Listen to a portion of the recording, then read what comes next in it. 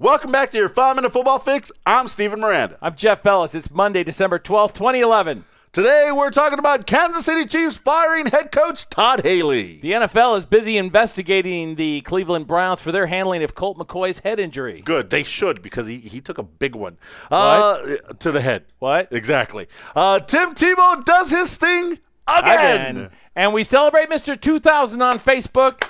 Thank you. 2,000 likes. We'll get to that. But first, Jeffrey. What a week! Week 14 is virtually in the books. We still got tonight's game, which No, we really don't. It's Horrible those guys. game. Yeah, They're it's- terrible. doesn't count, doesn't mean anything. But still, Jeffrey, the Houston Texans, we want to congratulate them making the playoffs for the first time in franchise history. Nice job. Amazing that it took this long to make the playoffs, but couldn't be happier for you. I just want to know do you know who guaranteed it? This guy guaranteed it, which much. is pretty crazy given they've never done it. New Orleans Saints, they also punched their playoff ticket. That makes four teams in the playoffs now. The Giants decided that the NFC East race would be a two horse race. And head coach has been fired. We'll start with that one. Todd Haley, head coach of the Kansas City Chiefs. See ya. See ya. Wouldn't want to be ya. No. He's been let go by the Kansas. Jeff, my only question: three games left in the season. Why do this now? To humiliate the man. You the man has done nothing for you that you have liked. Yes, he won the AFC West last year. However, there's been nothing but tension between Scott Pioli, the general manager, and Todd Haley, and they wanted to uh, do anything they could to embarrass him. Well, maybe his 19 and 27 record over just two and a half, two plus years.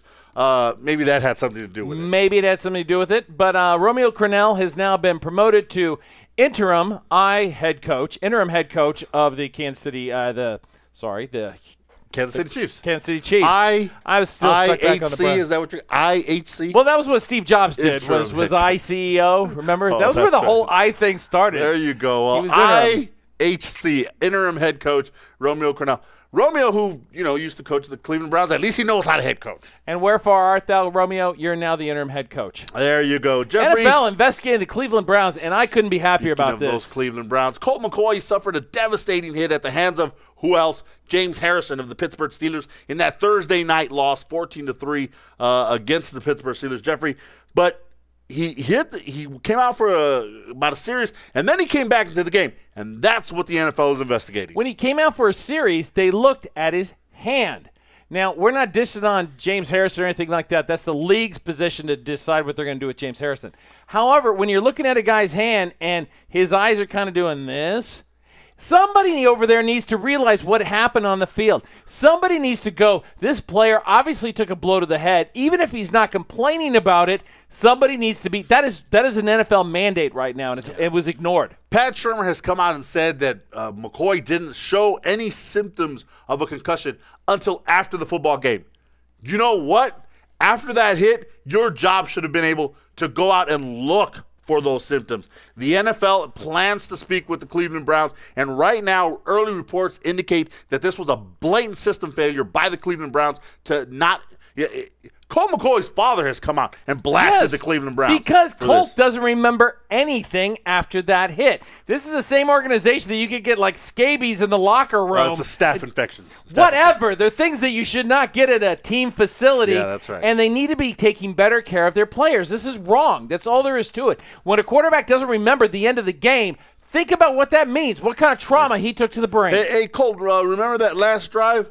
Uh, you see what happened? yeah. Well, yeah. he- No that's, excuse. That's not uh, not not good. Tim Tebow's out doing his thing again. That's right. Stop this me is, if you've heard this one. This is becoming old hat, Jeff. It is. It's almost becoming not news. Tim Tebow goes, oh, they're down 10 points. Oh, there's four and a half minutes left.